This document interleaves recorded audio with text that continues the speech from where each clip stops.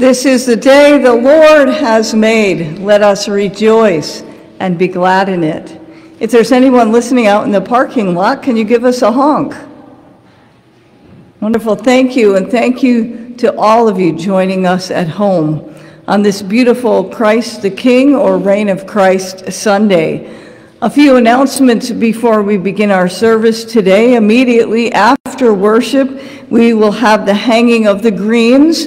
So hopefully you're uh, wearing your ugly sweaters to get in the festive mood. And if not, that's okay. Please join us in uh, decorating the church. Um, because many hands make light work, so uh, we can get this done quickly and beautifully if we get a lot of help from everybody. Uh, the first floor classroom uh, is where all the decorations are and also where uh, our coffee hour and snacks are. So it, nice and convenient for you to decorate and get some snacks. So please, as many of you as can, please stay after and help us to decorate today. Thank you. Also, before you leave, please, if you can, grab a Project Angel Tree tag and sign up for the Salvation Army kettle ringing on December 2nd. Those things are both out in the front entryway. Um, next Sunday, there will be an Advent intergenerational uh, activities downstairs, a lot of fun activities to uh, get us started off for Advent, another opportunity to wear your favorite ugly sweater again. So please uh, join us next week for all those fun activities. Also, I want to thank uh, Isaiah for filling in reading today. Maxine was not feeling well, and so I appreciate him filling in at the last minute. Thank you. Um, also, we will be keeping her in our prayers, but just to let you know that Helen Adsit uh, went to Rome Hospital yesterday morning with some pains in her side, and she has blood clots in her lungs. So please uh, keep her in your prayers. I saw her yesterday afternoon. Um, she's definitely doing better, but uh, in need of your prayers for sure. So please uh, keep her in your prayers. I believe that is all of the announcements I have for this morning, and so I ask that you please uh, prepare your hearts and minds for worship as we listen to our prelude this morning.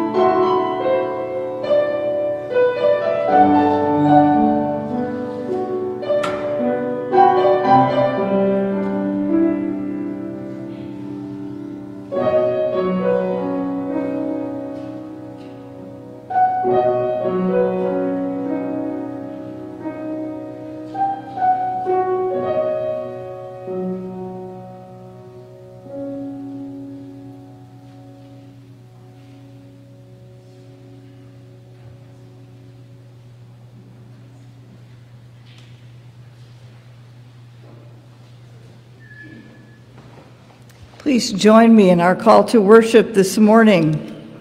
Come, let us sing to the Lord. Let us shout for joy to the rock of our salvation.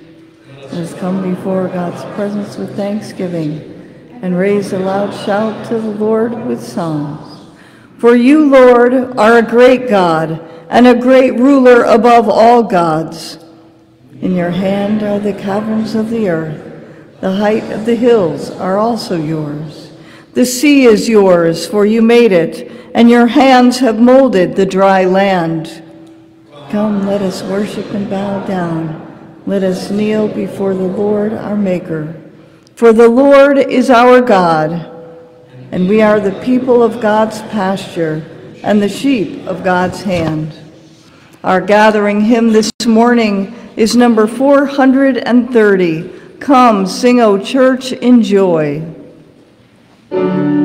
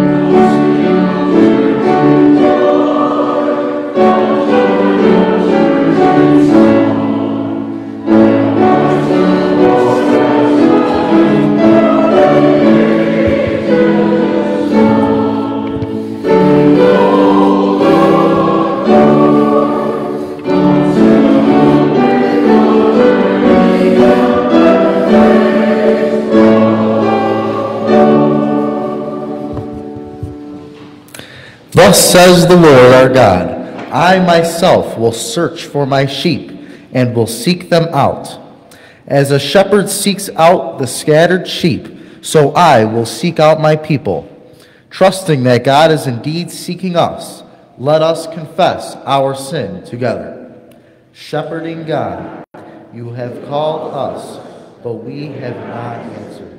You have sought us out, but we have continued to wander.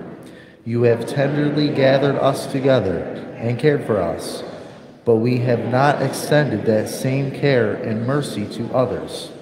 Forgive us, remind us, teach us, set us free from sin that, that we might turn toward your love and justice for the whole world. Guide us so that, tentative step after tentative step, we may walk your way.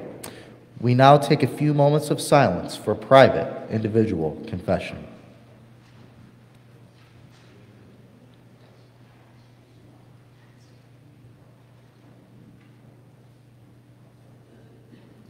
Amen. Thus says the Lord our God I myself will be the shepherd of my sheep, and I will make them lie down. I will seek the lost, and I will bring back the strayed, and I will bind up the injured, and I will strengthen the weak. The relentless grace of Jesus Christ always finds and forgives us. Thanks be to our ever seeking God. Let us pray. Beloved God, we pray this morning that we may experience that peace that passes all understanding, that we may experience you, the living peace of our world. Amen. The peace of the Lord be with you. Set free by God's grace, let us share God's peace with one another.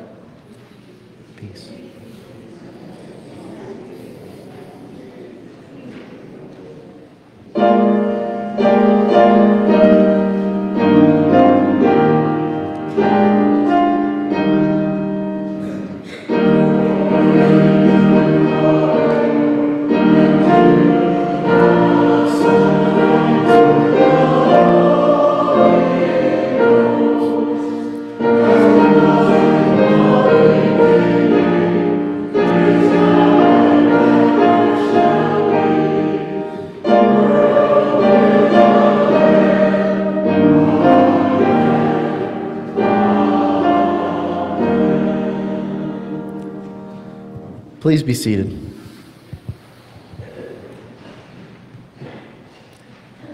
As we prepare to hear God's word, let us pray for illumination.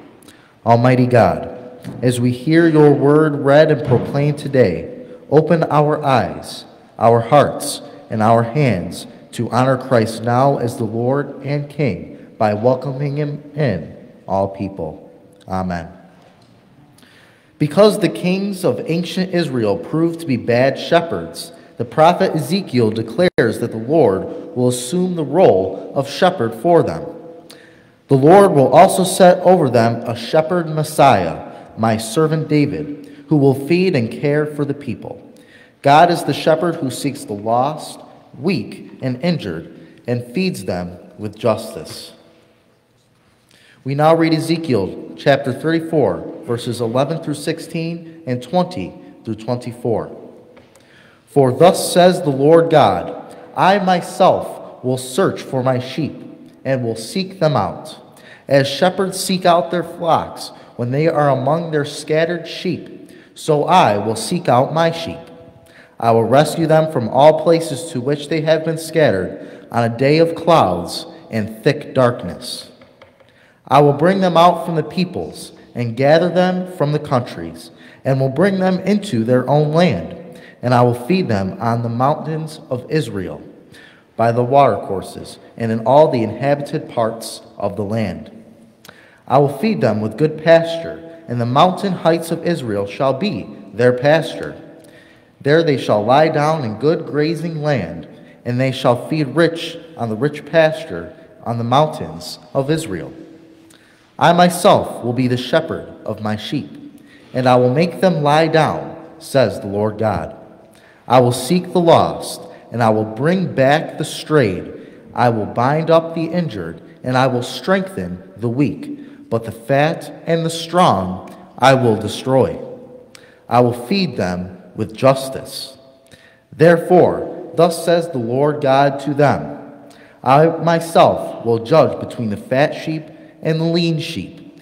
Because you pushed with flank and shoulder, and butted at all the weak animals with your horns, until you scattered them far and wide, I will save my flock, and they shall no longer be ravaged, and I will judge them between sheep and sheep. I will set up over them one shepherd, my servant David, and he shall feed them. He shall feed them and be their shepherd. And I, the Lord, will be their God, and my servant David shall be prince among them. I, the Lord, have spoken. The word of the Lord.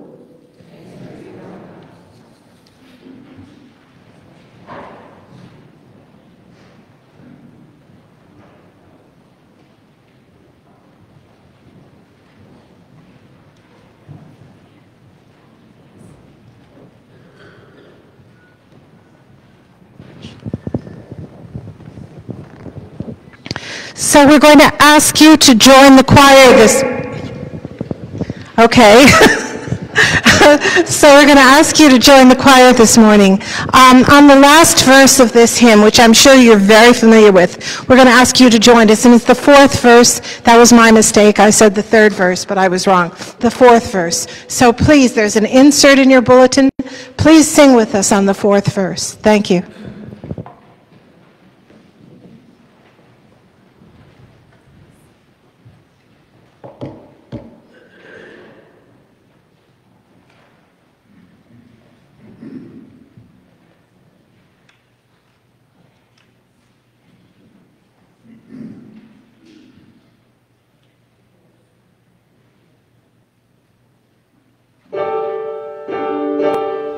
Oh, worship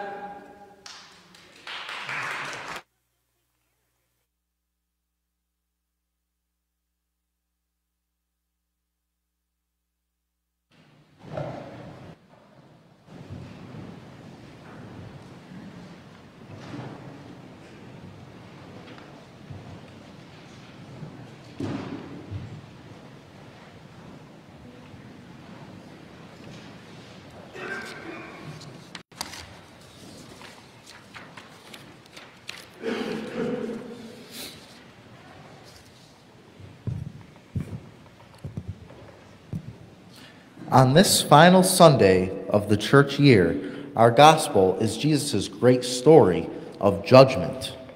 In the end, the faithful are those who serve Christ by ministering to those who are poor, hungry, naked, sick, or estranged. We read from Matthew chapter 25, verses 31 through 46. When the Son of Man comes in his glory, and all the angels are with him, then he will sit on the throne of his glory. All the nations will be gathered before him, and he will separate people one from another, as a shepherd separates the sheep from the goats, and he will put the sheep at his right hand and the goats at his left. Then the king will say to those at his right hand, Come, you, you that are blessed by my Father, inherit the kingdom prepared for you by the foundation of the world. For I was hungry, and you gave me food. I was thirsty, and you gave me something to drink. I was a stranger and you welcomed me. I was naked, and you gave me clothing. I was sick, and you took care of me. I was in prison, and you visited me. Then the righteous will answer him, Lord, when was it that we saw you hungry and gave you food, or thirsty and gave you something to drink? And when was it that we saw you a stranger and welcomed you, or naked and gave you clothing? And when was it that we saw you sick or in prison and visited you? And the king will answer them Truly I tell you, just as you did it to one of the least of these who are members of my family, you did it to me. Then he will say to those at his left hand, You that are accused, depart from me into the eternal fire prepared for the devil and his angels. For I was hungry and you gave me no food. I was thirsty, and you gave me nothing to drink. I was a stranger, and you did not welcome me. Naked, and you did not give me clothing. Sick and in prison, and you did not visit me. Then they also will answer, Lord, when was it that we saw you hungry or thirsty, or a stranger, or naked, or sick in prison, and did not take care of you? Then he will answer them. Truly, I tell you, just as you did not do it to one of the least of these, you did not do it to me. And these will go away into eternal punishment, but the righteous into eternal life. The word of the Lord.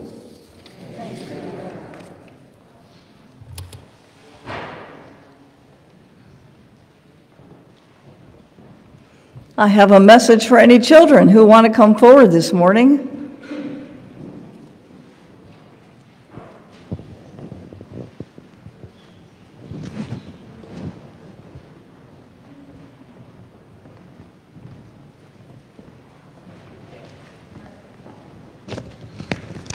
Good morning. Come on, a little bit closer. Come on. Good morning. How are all of you? Good? Today we are talking about Christ, our King.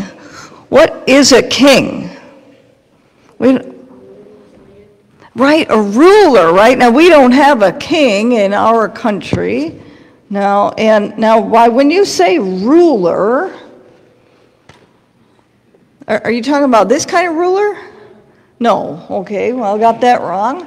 What kind of ruler are you talking about? That rules the land. Oh, that rules the land. So they kind of have to make decisions, right? Yeah. What's that? A leader. Okay, so a leader. And we have presidents, right? Kings. So those are all leaders, right? Well, we have a picture in a, of a, what is this? A crown. And a lot of times kings wear crowns, right? Do you know where this picture is? Where we got this picture from? On the cover of our bulletin? It's actually here in the church somewhere. Why don't you look around? No, not that one. Yes, you're right. All the way over in the back, up in the choir loft at the very top, that is the crown that we have on our bulletin cover. Very good.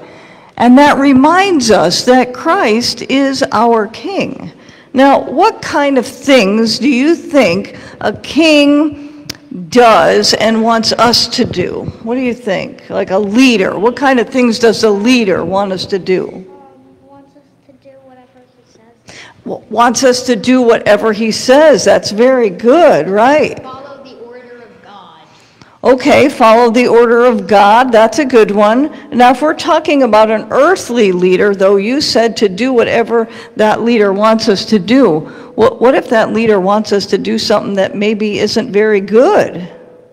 Um, then, then refuse to do it. Then refuse. Well, if you refuse, you'll maybe get kicked out of the system. Right, if you refuse to do it, you might get in a lot of trouble. So that kind of really puts us in a tough space, doesn't it? Because we want to follow leaders, but if they want us to do things that aren't good, we could kind of get in a lot of trouble. So there's, it's complicated, right? We, we don't know what to do. But Jesus says that he is our king, and we have to follow Jesus. What kind of things do you think Jesus wants us to do?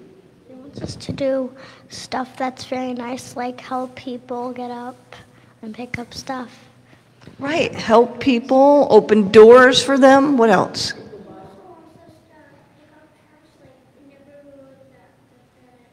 Right, pick up trash and not hurt the planet. I love that because God made the planet, and when we hurt the planet, that's not a good thing. It's kind of disrespecting God, right? Saying we don't care that you made all this wonderful stuff. What else does God want us to do? Right, to read the Bible, because what do we do when we read and study the Bible? Um, we get smarter and we know that God's, and then we start to think that God's real. Right, we know that God is real and we get smarter about who God is. The Bible tells us these are all wonderful answers. Jesus gives us some more examples. He says, when we follow Him, we have to, whatever we do to other people, we actually do to Him. That seems kind of odd, doesn't it? But he says, whenever you give somebody a drink of water, or whenever you feed them, or give them clothes, or do wonderful, kind things to them, we are doing that to God. He also says, whenever we do hurtful things to others, we're actually hurting God, like you said about the planet, too. So we need to keep that in mind today, right? Whatever we do to each other, we're actually doing that to God, right? And so we have to be careful and really think about what we are doing, right? God represents everything um, that you have done and will do. Like, it represents, like, Or if you um, are mean to, like, one of your friends, you're being mean to God. Right, when you're mean to one of your friends, you're being mean to God. So we need to remember when we're doing things, it's hard, I know, but we need to try and, and do our best to care for people. And what that requires is a lot of wisdom, right? You have to think about it. And I have these little owl stickers for you because usually when you think of an owl, you think of being wise, right? Owls are thought to be wise, right? And so I'm going to, I know. Why is that? Why is an owl wise, you think? Well, an owl probably has to think about, and, and they have to look very carefully, don't they, with their big eyes, so they can see when they're looking for food. Yep, they can. They have huge eyes. They have huge eyes, right? And so they're always looking, right? And, and being on the watch for things that they can eat and, and different things like that. So we can have big eyes like the owl too, right? And be looking, looking for God in each other. I love that. All right, so I'm going to give everybody a sticker. So come over here and get your owl sticker and be like the owl, be wise, and be looking out for ways that you can see God in each other. All right, come on, get your owl sticker. You got to get an owl sticker for everybody here. They're all different colors. All right, here we are, one for you. Come on a little bit closer. I don't want to fall off these steps. That wouldn't be too wise. All right, here, one for you. Yes, it would give you all a chance to be nice and help me up, but I'm not going to give you that opportunity today. but let's all say a prayer together, okay? Good and gracious God, you are indeed our King, the ruler of our life. Help us to see you in each other, to treat each other with the love and kindness that you deserve. For in treating others with love, we treat you with love as well. Amen. Thank you so much.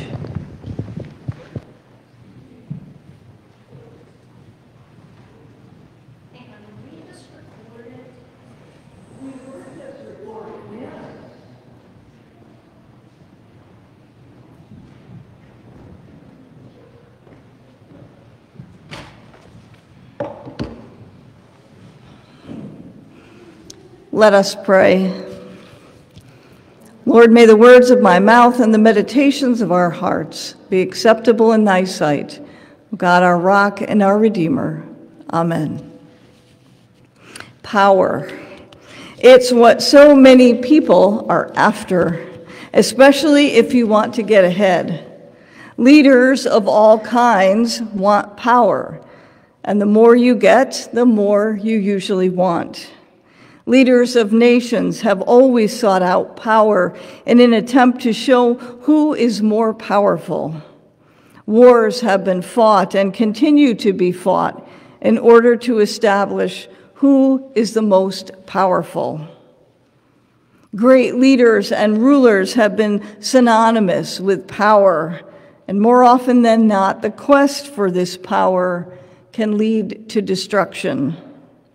Today, this last Sunday of the church year, we celebrate what is known as Christ the King or Reign of Christ Sunday.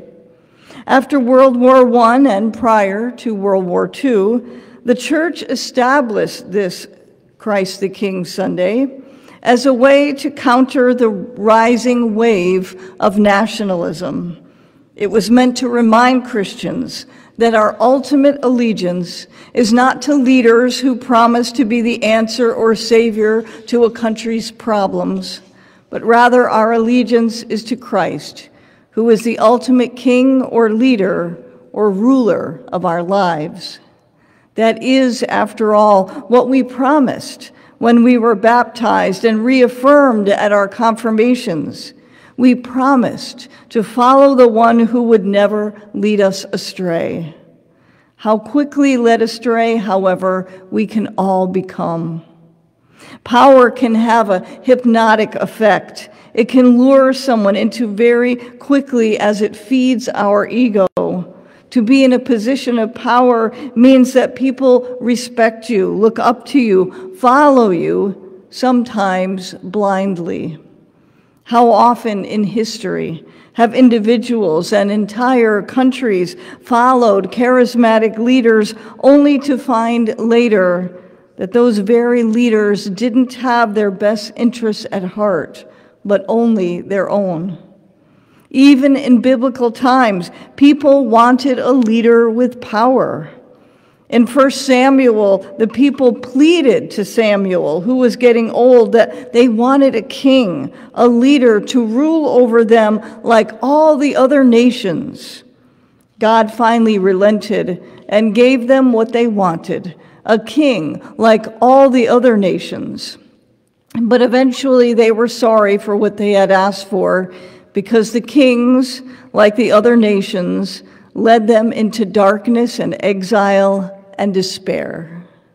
Many human leaders, in their quest for love of power, promise a lot, only to disappoint and lead people into darkness, not light. And that's why God spoke through the prophet Ezekiel and expressed disappointment with the various leaders.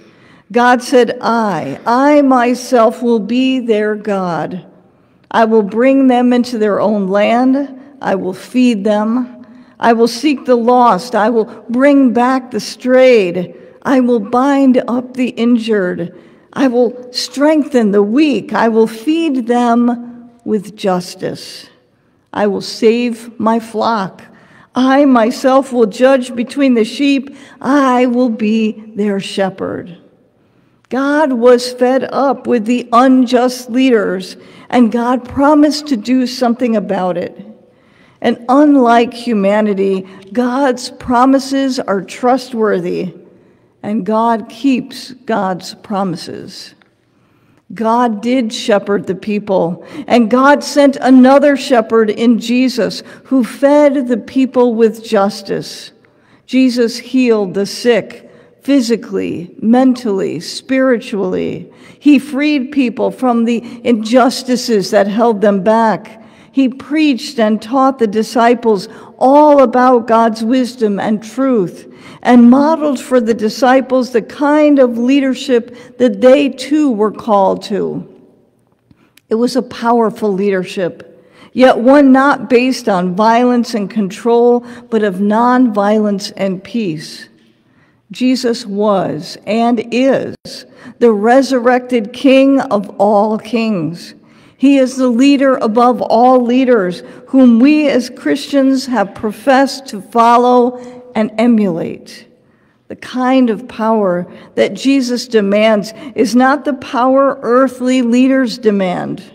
Christ's power is made known, as St. Paul tells us, in our weakness.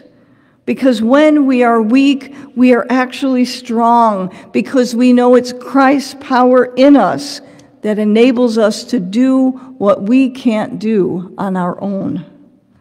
The kind of power Christ demands is servanthood.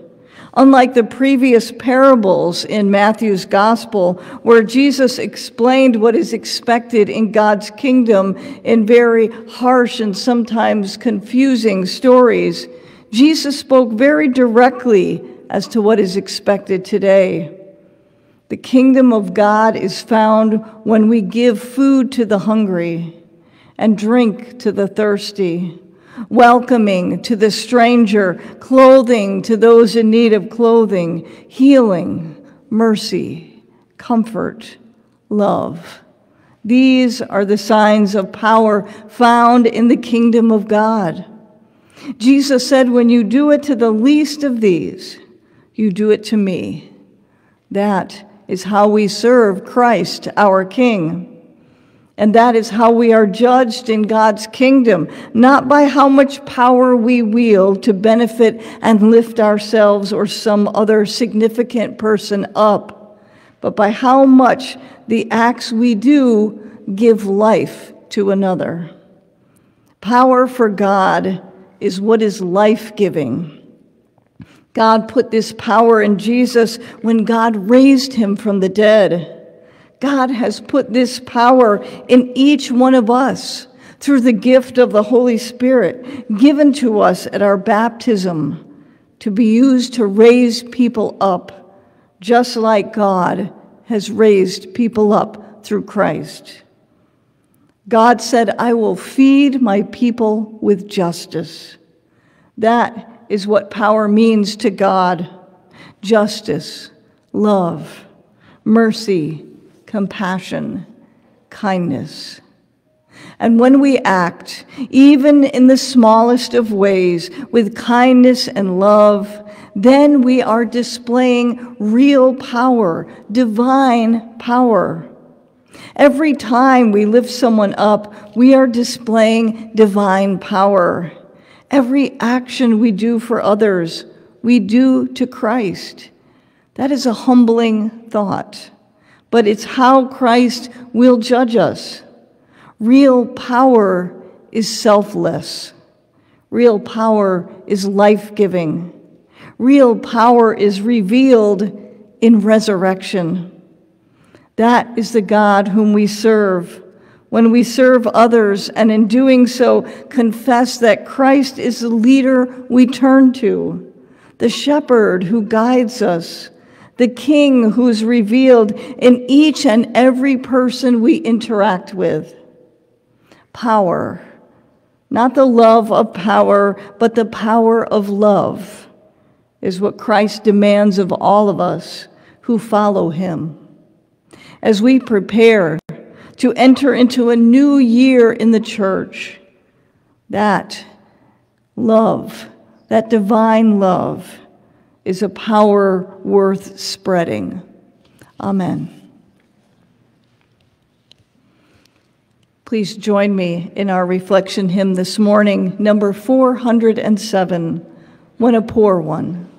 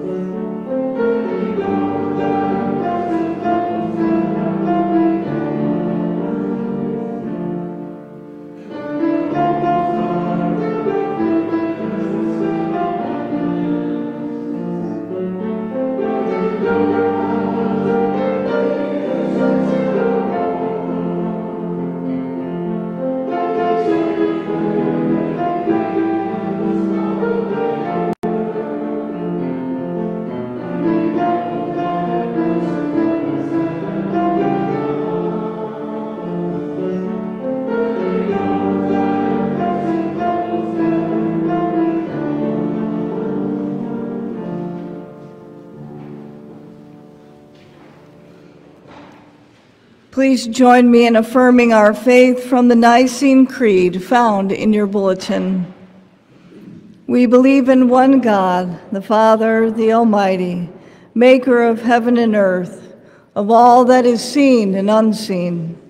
We believe in one Lord Jesus Christ, the only Son of God, eternally begotten of the Father, God from God, light from light, true God from true God begotten, not made, of one being with the Father. Through him all things were made. For us and for our salvation, he came down from heaven, was incarnate of the Holy Spirit and the Virgin Mary, and became truly human. For our sake, he was crucified under Pontius Pilate. He suffered death and was buried. On the third day, he rose again in accordance with the Scriptures. He ascended into heaven and is seated at the right hand of the Father. He will come again in glory to judge the living and the dead, and his kingdom will have no end. We believe in the Holy Spirit, the Lord, the giver of life, who proceeds from the Father and the Son, who with the Father and the Son is worshiped and glorified, who has spoken through the prophets. We believe in one holy Catholic and Apostolic Church. We acknowledge one baptism for the forgiveness of sins. We look for the resurrection of the dead and the life of the world to come. Amen. Please be seated. Jesus calls us to reach out and care for our neighbors in need. One way we do that is together as the church, the corporate body of Christ. Let us offer our gifts to God for God's work in our community.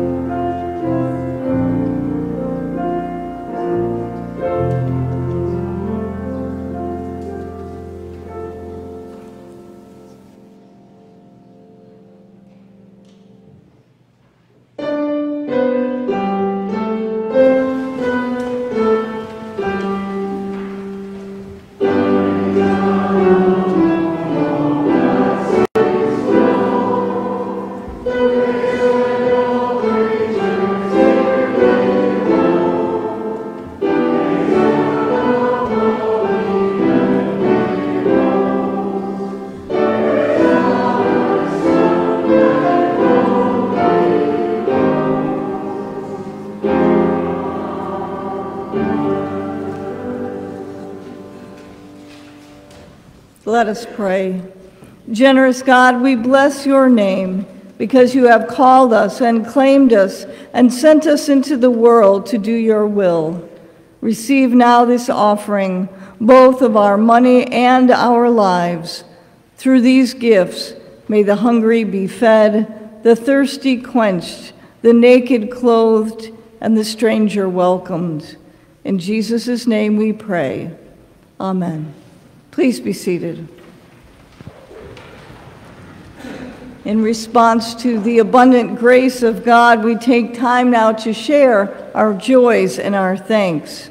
Happy birthdays go out this week to Paul Berry, Jackie Dunnedy, and Jackie Roush. Happy anniversaries today to Sam and Cynthia Pendergrast in Douglas, Arizona, and to Jim and Bev Couples on Friday. We are blessed to look forward to our Christmas candlelight concert on Sunday, December 10th at 4 p.m., so be sure to invite your family and friends.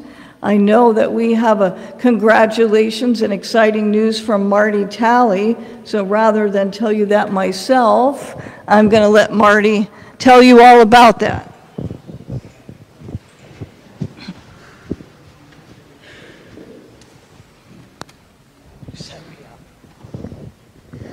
Um, I have done several trips with uh, an organization called All Hands and Hearts that do recovery, disaster recovery, uh, recovery work. Um, they're taking limited number of people from Maui um, simply because they don't have any accommodations. Everything is razzed, it's just gone. Um, but I applied and I was accepted and I will be leaving for three weeks in February. Um, we're going to be staying at a national park um, just a little bit beyond the town that was destroyed. Um, so for the first time in years, I will be sleeping in a tent on a cot. And uh, doing whatever it is. I know they're not doing rebuild work yet because a lot of that area is still toxic because of so many different things that burned. Um, and hazmat groups are in there still cleaning that up. So I know we will not be doing rebuild work. Um, I'm not sure if we're going to be doing any what we call muck and gut, but basically tear down work, um, or if we're just going to be doing um, distribution of necessities for the folks who live there. But whatever it is, I don't care. I'm going and I'm going to serve. And as a bonus, uh, the, the, the uh, park that we're camping in, it just happens to be edged on one side by the ocean, so it's going to be a real trial for me, I'm sure. Well, congratulations again, and I know that you will do great work there, as you always do, and uh, I know you'll be sorry to be missing all that snow in February, but, you know, try and keep a stiff upper lip about it. All right, somebody else, all right, great. Well, first reading today talked about shepherds, and my shepherd from the deacons used to be George Vickers, and George's name comes up on our prayer list. So I called him this week I had a nice chat with him. He's dealing with a health issue, but very positive and seems to be doing well. Thank you very much. We will continue our prayers with George. I spoke to him right before his second surgery, and he was in good spirits, so glad to hear.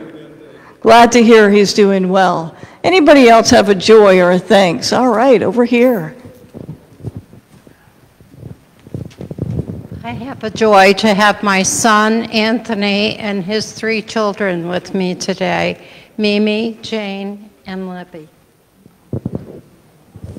And where are they from? Cazenovia. Where? Cazenovia. Cazenovia, wonderful. Well, welcome. Glad you're here. Anybody else a joy that they would like to share, something they're thankful for? All right, we see a hand up there. Go ahead, Jay.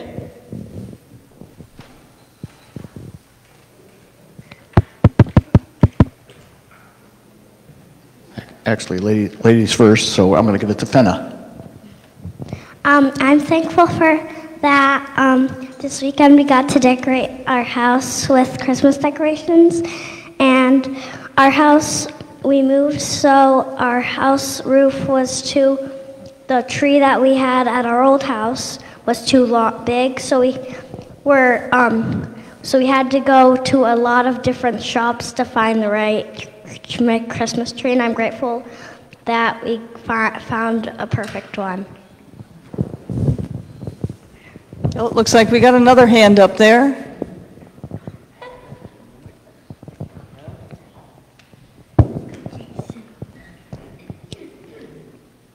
I am grateful for church and the opportunity that we have to, ins- to experience all the wonderful things that God can do for us.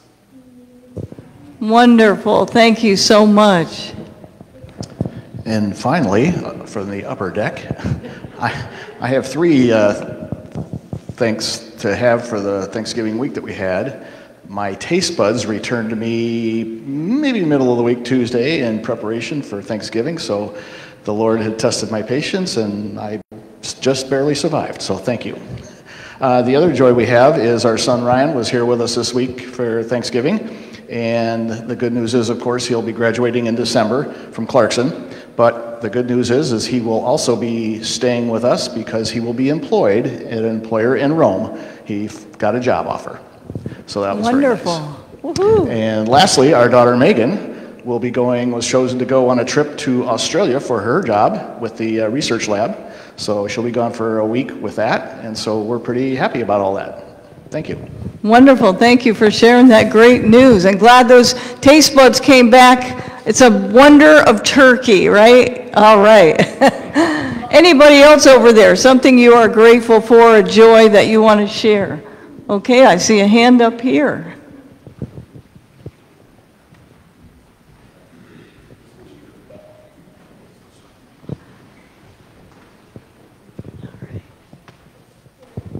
I think I have to echo Jason's comments, just the joy of God and church. And as Isaiah read this morning, we pray this morning that we may experience that peace that passes all understanding.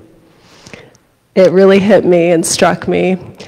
After 50 years of life and being in this church and reading the words, over and over, I feel grateful to finally understand what that peace that God brings to us. And so I, I hope that all the children really take those words and don't take 50 years like I did. and this Thanksgiving was the best Thanksgiving of my life because I didn't go to work. And when you work in food service and retail most of your life, and then you think, I never really enjoy the moment. I never get to really enjoy Thanksgiving because it's always about what load we're getting out and boxes moving and people buying and all the madness. But to finally just sit down with my family on Thanksgiving, not have turkey, but just crack open a bottle of wine at 2 o'clock in the afternoon and just start drinking and enjoy that very much. So that made it a great Thanksgiving. But last night we were able to bring all of our family together on a Saturday evening um, and just, again, enjoy each other, enjoy some a meal together. And uh, I'm just grateful for all my family, my church family, my church, and mostly my God to finally help me understand what that peace means. So, very thankful this morning. Thank you. Thank you so much. Thank you for sharing that. I thought a lot about uh, the workers on this Thanksgiving and uh, all the stores and the places that people having to work and they couldn't be home with their families. And so uh, it's wonderful that you were able to. And it's important to remember those who couldn't be. Um, and that peace that you talked about, it really is an amazing thing. And we can feel that peace, even in the midst of the struggles in our life, that God is with us. Um, as we heard in the song this morning, God is walking that road with us all the time. And so for that, we can be grateful. And now we're going to turn our attention to praying for those in our community and in our church and around the world who are in need of prayer.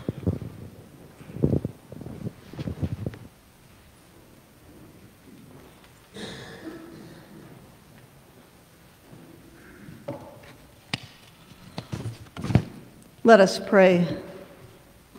Holy God, from Christ our King, we receive our call to feed, clothe, and welcome. Direct your church to respond to this call with faithfulness and generous love. We pray for the work of the Presbyterian Disaster Assistance, the Presbyterian Mission Agency, and partnerships with Global Feeding Ministries.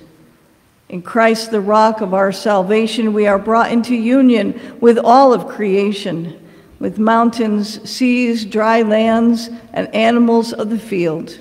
We seek your guidance to protect and be good stewards of all that you have made.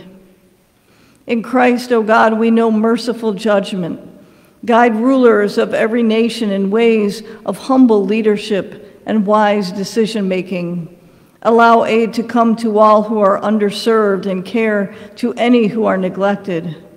Turn us from being quick to respond with violence and war to communicate a way of peace. We pray especially for the war torn countries of Palestine, Israel, Ukraine, and Russia. In Christ, we feel the depth of your love and care toward us. Nurture and nourish all who hunger. Connect any who are isolated and surround all who experience rejection or abuse. We pray for those who suffer in body, mind, or spirit, especially George Vickers, Helen Adsit, Sue Hanson, Arlene Pfeiffer, John Nethaway, Skip Briggs, Jim Clough, Joanne, relative of Kathy Austin, Maxine Strong and her son and daughter, Sheila, daughter in law to Barbara and Ron Rhodes, Marilyn Baumler, friend of Barbara's, Marcy Ferens, Ralph Pizzula, Reverend Jim Hariff, Connie McConnell, Shirley Fox, Paul Berry, Larry Beasley, Ray Tucker, Dorothy Hausman, and Roberta Burt.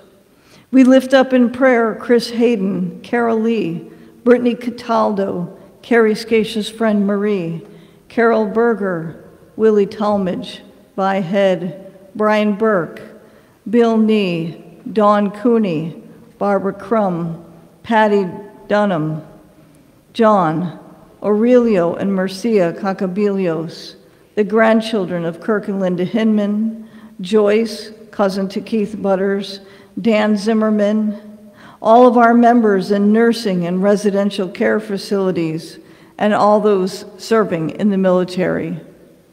In Christ, we are made the people of his pasture workers in his kingdom, inspire the outreach and social ministry ministries of this congregation. We pray for all people who serve and attend to the needs of others. Holy God, in Christ, we are welcomed home. We praise you for the faithful witness of those who have served you and extend your welcome and love to us. Unite us with them as one body of Christ and now gathered together as one by your Holy Spirit, we pray as Jesus taught us Our Father, who art in heaven, hallowed be thy name. Thy kingdom come, thy will be done, on earth as it is in heaven. Give us this day our daily bread, and forgive us our debts as we forgive our debtors. Lead us not into temptation, but deliver us from evil. For thine is the kingdom, the power, and the glory forever. Amen. Our sending hymn this morning is number 151 Crown Him with Many Crowns.